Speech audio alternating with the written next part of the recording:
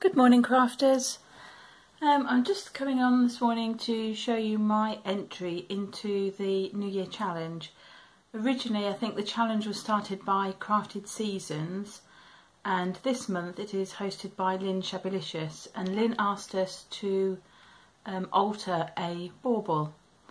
Uh, originally I thought I would have a go at decoupage or glitter or something like that and then having looked at Mary Barratt's beautiful beaded baubles, I thought I would try and have a go. Um, and I guess because I'd been looking at YouTube videos, um, in my feed came a video from Kay, Kazeekins One, that um, she made about five years ago. And so I decided to use that tutorial to make my beaded bauble. Um, and Kay, your tutorial was brilliant, very easy to follow.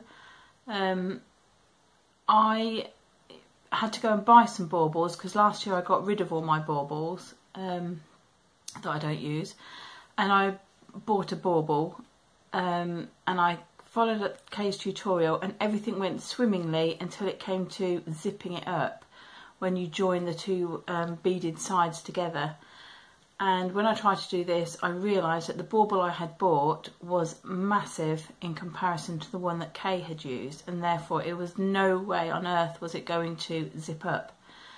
Um, I have got some very weeny tiny little baubles so I did use that just to um, help hang it while I um, zipped it up and then I went this morning and I've bought another load of baubles I don't want just to get one the right size.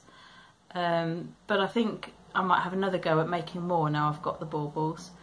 Um, so yes, I will show you my bauble in just a second. Oops, if you can see it.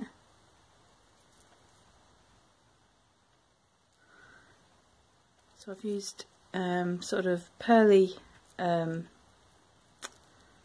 seed beads and gold ones and then some glass beads at the at the bottom there. So first thing, first time I've ever done anything like this. Kay, your tutorial was brilliant. It was easy to follow.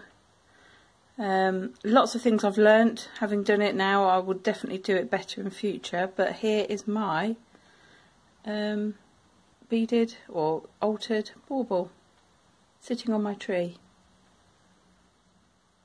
Thank you. Thanks everybody for watching. And thanks for hosting, Lynn. Bye for now.